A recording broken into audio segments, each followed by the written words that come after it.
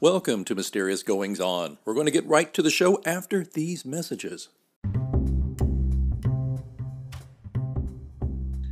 This is Cassandra Lane. I'm the author of We Are Bridges, a memoir. You're listening to Mysterious Goings On with Alex Greenwood.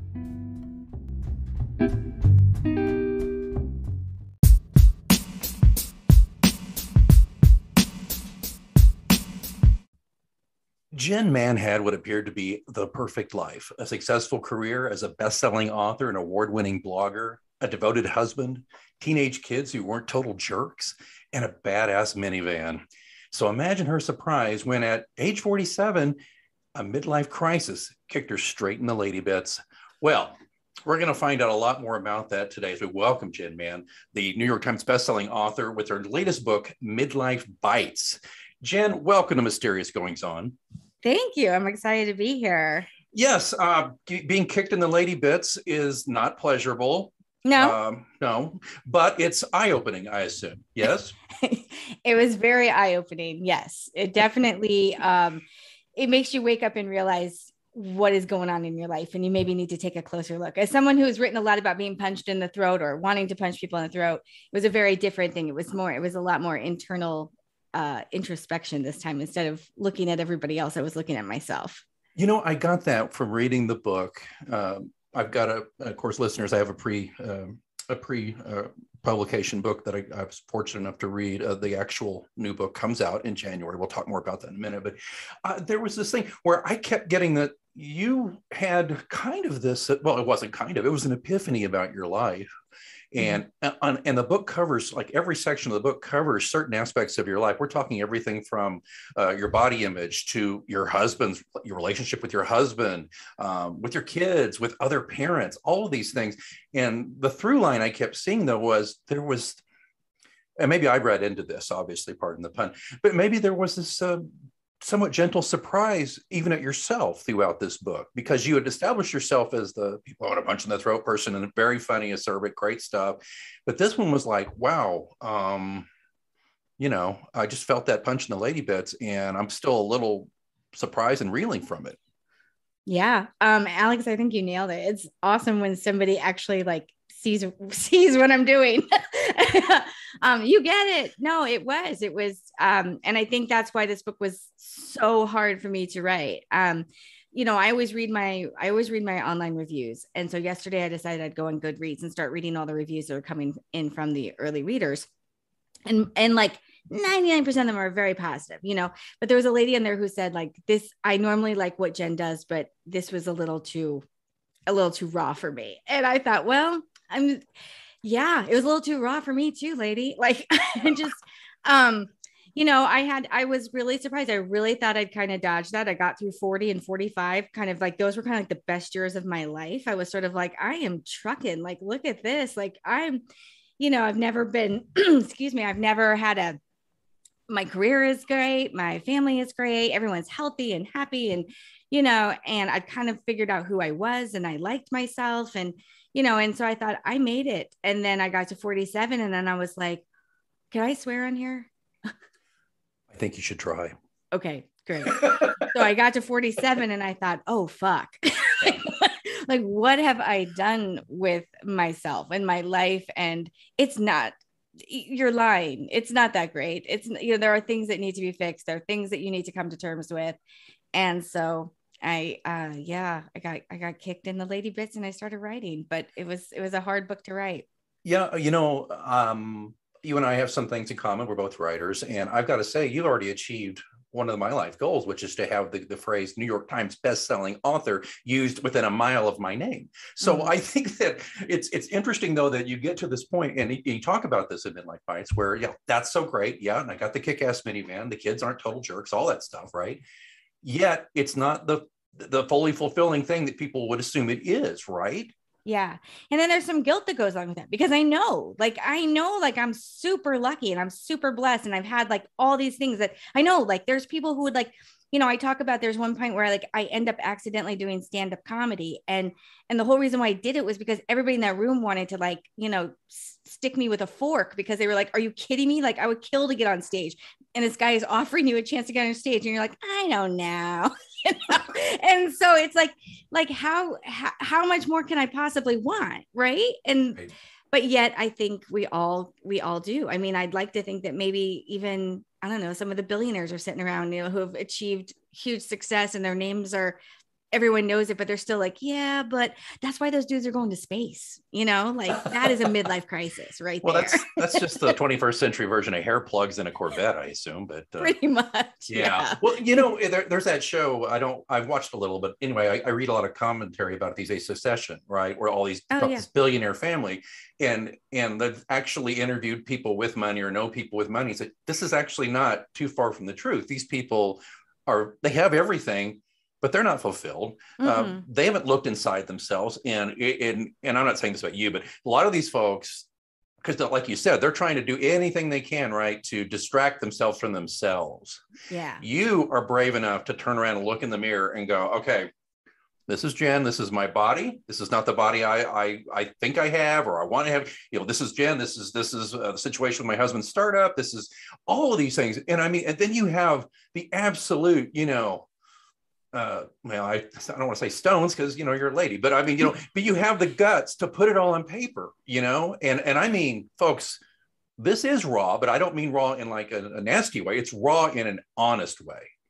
I hope so. I hope that came across. That is one thing, no matter what I've written over the last, I'm going to be celebrating my 10th year anniversary this year, this December of, of, of my viral hit that sent me off into this career that I have now.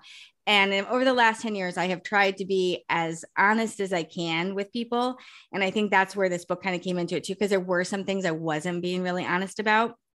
And I just felt like, I needed to start a conversation because nobody was talking about this stuff. And you know, I started out in the parenting world. I was I was a mommy blogger back in the day and we could talk about that and we could commiserate about that, but yet we all kind of hit our like late 40s and everyone starts whispering, you know, about things and they're and and you don't know who you, you know, you're just like, can I trust you? Can I tell you something? Because you know, how are you? And and they've got that fake, you know, I'm fine. I'm fine. Mhm. Everything's fine. It's fine. I'm fine. I'm fine.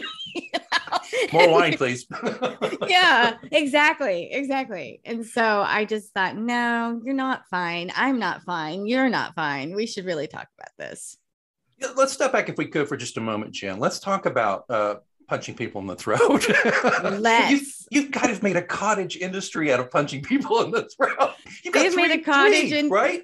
Oh, I have five now. Five? Oh my five. God. I have five people in punch and throat books, and um, I've made a cottage industry out of it. Who knew? My my all my English professors from college are you know rolling in their graves, going, "I can't believe that, that this is this is what this is what put you on the map, lady. Like this is what you did." But I'm Erma Bombeck with F bombs. I wouldn't change a thing. I love it. It's it was a gift that was given to me, and I just I just worked really hard and kept it going. You know. You know, I was going to make the Bombeck comparison. You know, grass is always greener on the other side of the septic tank, folks. If you don't Yeah. know, go look it up. Gen X people, we kind of know that. There was even like Carol Burnett did a TV movie based on that one, I Mhm. think. Yeah, but but I mean, I wasn't gonna, I wasn't sure if I was going to bring her up or not. But good, but you are, you are Erma Bombeck with F bombs. Um, and she she was really the trailblazer there. But She you was. you strike me though as the you took the baton and you have just gone light years since there. Well thank you. That's that's very high praise but she is she is the original. And and you know and i i i think you know when i i wrote about the elf on the shelf 10 years ago in december and that was the post on my blog people on punch throat that kind of like set everything into motion.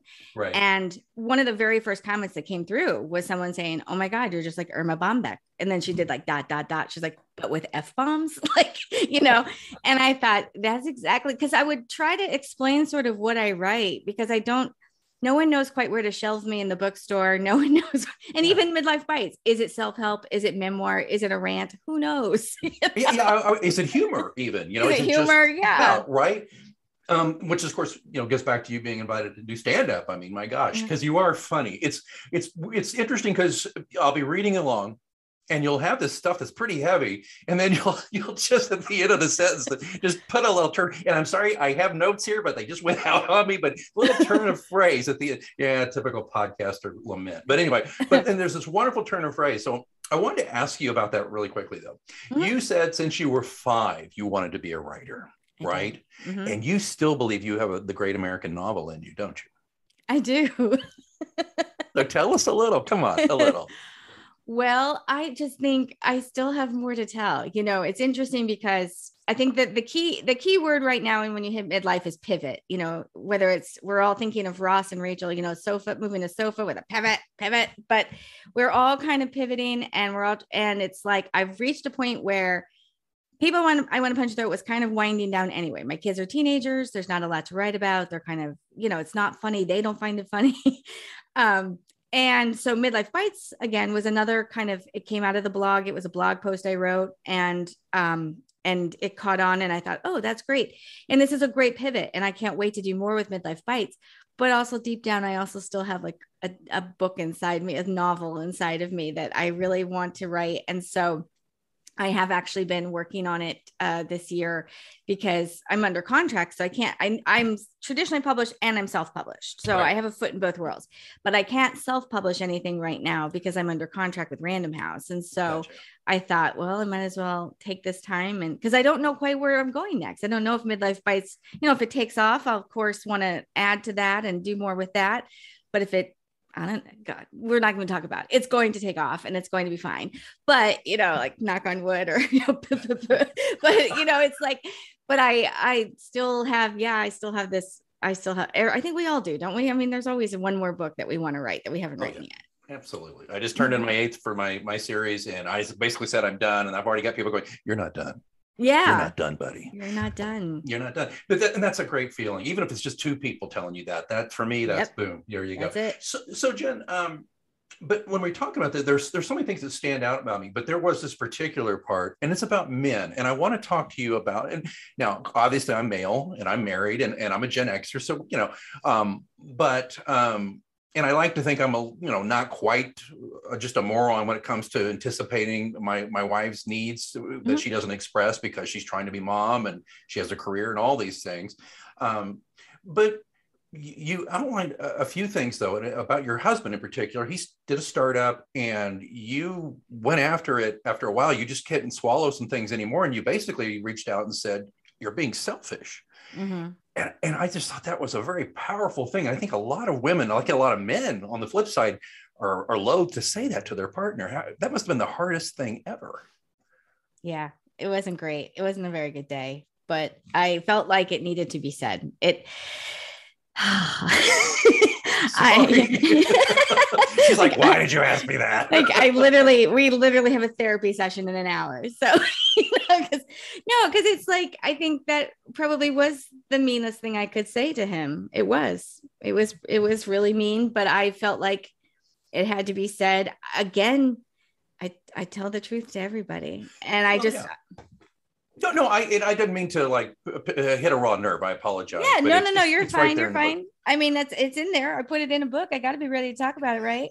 No, I um, but yeah, no, it wasn't. It wasn't great. It wasn't my best moment, but I also still, I also still stand by it though. Like I feel like, I feel like the way I looked at it was, no successful man would ever tell his wife, you know, like, or excuse me, let me rephrase that, like no no wife tells her successful husband like like my mother was a stay-at-home mom and like i have lots of friends who are stay-at-home moms and and they chose that so that their husbands could have success. Like my mom has told me time and time again like there was no way for your dad to do what he did if i worked too. Like somebody had to be here and take care of you guys and take care of everything else and you know so he could just focus on his work. And i thought never in my life would my mom ever sit down, sit my dad down and be like, you know, I need a legacy too. Like I need to do something too, to have my name up there too. And that's what really set me off because I just thought of all the women I know who stand by and support their husbands and their husbands never think twice about, you know, gee, did you want to do something today, honey? That, you know, did you want to do something different with your life? And and I'm not saying that that's a bad choice. Those women made that choice and they're happy. And many of them are happy with their choice. You know, don't get me wrong. But I just know that sometimes I would see like my mom, like, like I went off to college and my mom was really angry when I left for college. And I was, and I remember asking my dad, I was like, what is she so mad about? And my dad's like, because she's, you're going to do something that she never got the opportunity to do. Like she never got to go to college and have a career. And my mom's had a great life. Like she's a very, you know, she's she's a very well cared for lady you know but but it's like but but there are still things that i think deep down if she was honest she probably wishes she could have done something maybe a little bit different but she would have never sat my dad down and been like here's the deal. Like i need you to to dial it back so that i can have a career now. And when my husband told me that i just felt like hang on a second. Like th- like i need you to help me. Like this was our goal. We were once on this path right. and now all of a sudden you want to go on a different path and i think that's incredibly selfish. And so I well you talked to a friend about this and you said you know there's resentments in every marriage. And she said well wait a minute. Yeah. festering resentment is not a good thing. And that right? was really eye-opening too because you know, I have always prided ourselves like, you know, people will say, gosh, you guys bicker a lot. Like if they were around us, he and I bicker a lot. And I'm like, yeah, that's a sign of like a good marriage. Like you're supposed to like, you're supposed to like work it out. Like you're supposed to fight it out, you know? And I would, and my friends would be like, hmm, are you though? like, is that right? And I would just be like, ah, what do you know? You know, and then, but when it was the whole resentment thing, I was like, well, we all have resentments. And, and like the look on her face, I was like, oh, fuck, we don't. Oh, yeah. oh, I'm like, I'm super wrong here. And she's like, you're, mm-mm. she's like, that's not good. And that's when I decided, like, yeah, we needed to really talk about it. And thus the need for for therapy which is perfect which is healthy though that's yeah. that was my point i was trying to get to though is that not only was it brave of you to do that and and to, to, to just say okay wait a minute here i'm 50% of this partnership here and i got some words for you i mean mm-hmm. my spouse and i do that uh, we we try not to you know we're not one of those couples like don't go to bed angry well yeah every now and then but but you know we're not into that but we're definitely into communication and talking uh-huh. to each uh-huh. other about stuff and and like you we're generally a united front with the kid uh-huh. you know unless one of us is being a total dick and then right. there you go okay right. fair enough well I, I just want i wanted to say that uh, the majority of our listeners to the show are female. Uh, that's okay. according to my my wonderful uh, you know stats and all that stuff. So um, th- they know that I'm pretty open about when I'm a total idiot. So I you know, but I read that and I wanted to tell you that while I don't feel like I'm like a, a total Cro-Magnon, there are some things there I I saw in what you wrote that I think will be beneficial to me going forward as in my relationship with my spouse and with my daughter. And so yeah. I, I, really appreciate that. And so I, I really think that um, I think that a lot of men could benefit uh, from uh, what you're writing here, and in, a lot of ways.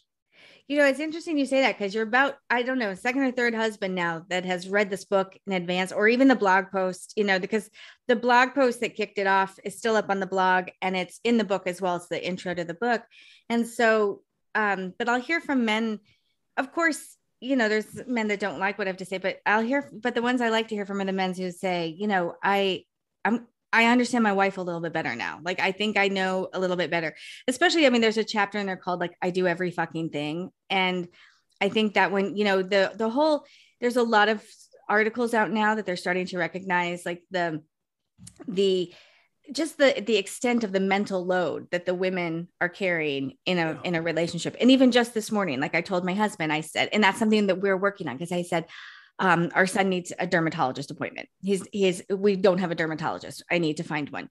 And he was like, "Would you like me to do it?" And I was like, "Oh my god, yes."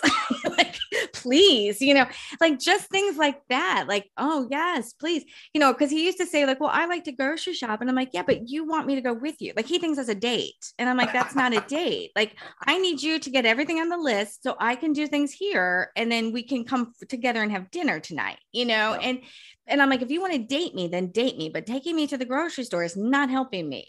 so, so I was, I think I need a chapter in there just dedicated to the to the men folk who want to who want to read it and understand a little bit better and what you guys can because I think that's what men need. Like I've decided that men need like you guys need like um you need specific instructions. Like I can't just say do the dishes, I, you know. And I've seen this with my teenage son. I have to be like, he'll be like, "What do you mean?" And I'm like, pre-rinse them, get all the food off of them, like you know, like put them in the dishwasher in the correct slots where they belong. you know? Add soap, close the door tightly, and then turn it on. And then when it's done, you must unload it. And he's like, "Oh, unload it, yes," and put them all the way where everything belongs. I'm like, and you know where spatulas go, and you know where forks go. Like, put nothing left on the countertops.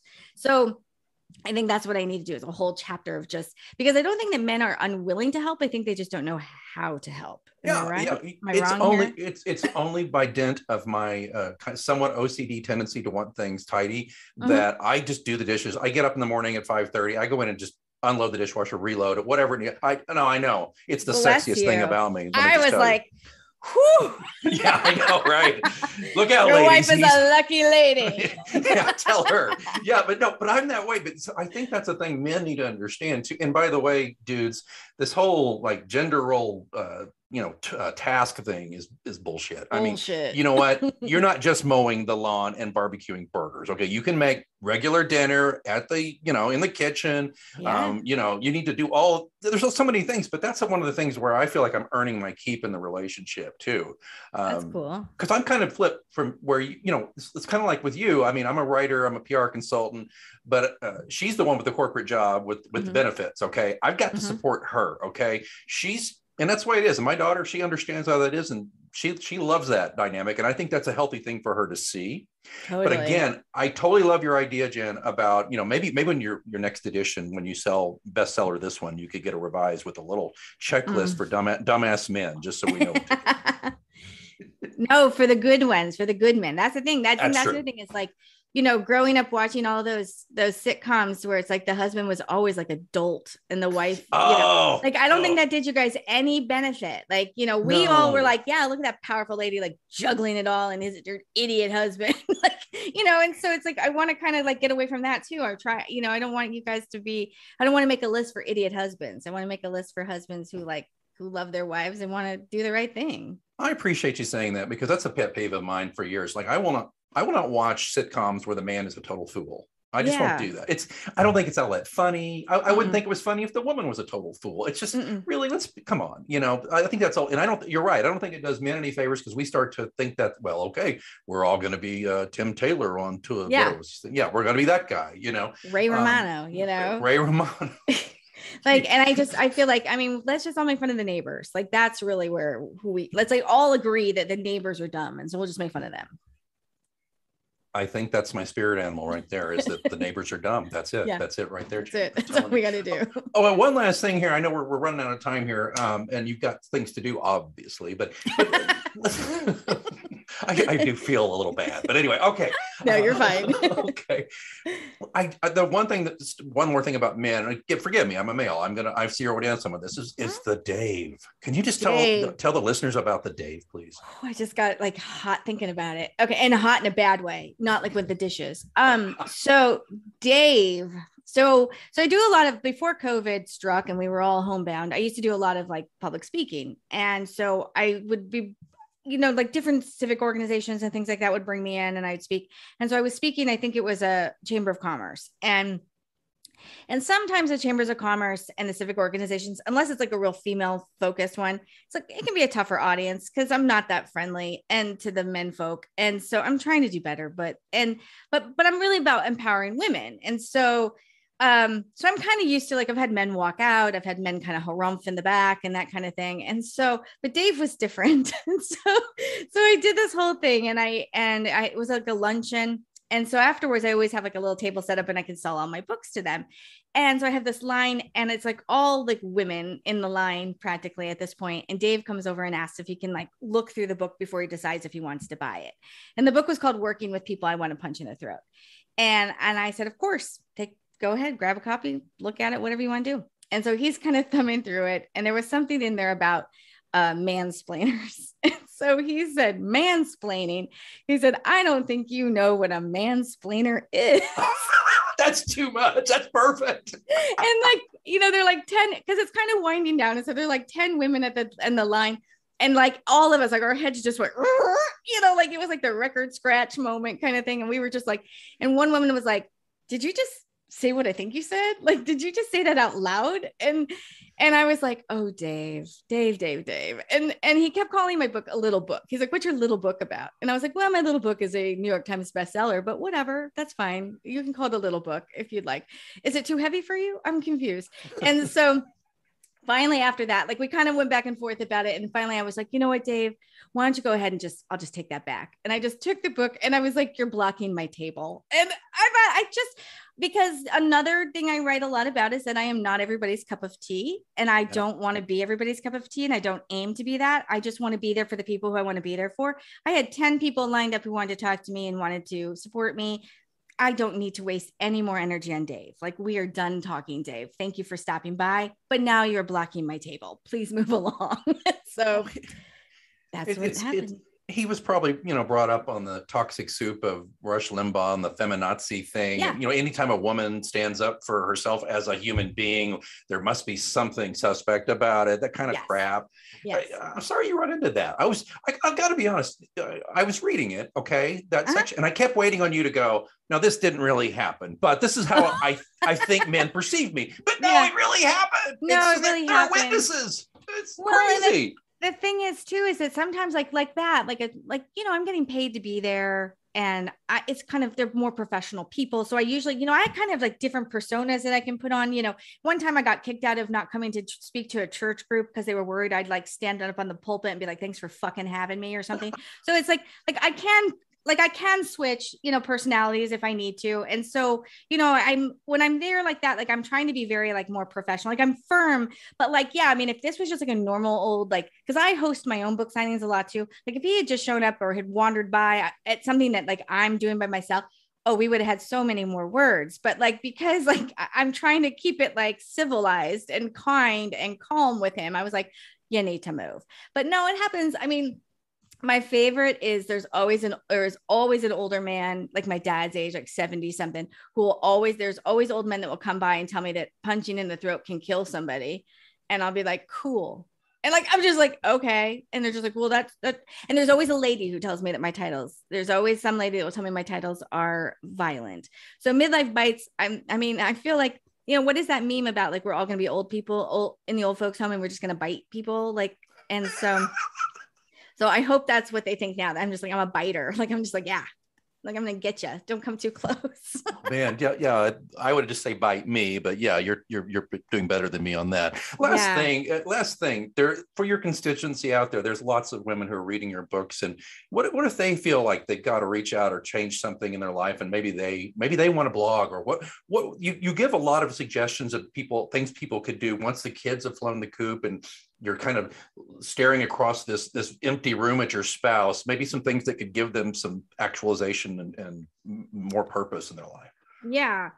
Well i think i mean for me writing is always that's my purpose. And so i always like try and i think writing is a therapeutic thing. Like even if you're never going to publish it like i have i always tell people i have I have, you know, 600 published blog posts and I have 600 unpublished blog posts, you know, in my drafts folder. Like there's just things that I write down that are just not for public consumption at this point and or never were. I mean, they're just I'm so fucking pissed. I mean, whatever like like just make a list. And so um so I always I'm always pushing writing on people, but it's not for everybody. And so, you know, this year we did get a pandemic puppy and I do understand now the dog people out there. I understand how a dog does kind of calm me down and and like last night, I think all of us, we, I don't know, we had a bad night last night. We are putting up the Christmas tree. And so there's a lot of, uh, and, oh, yeah.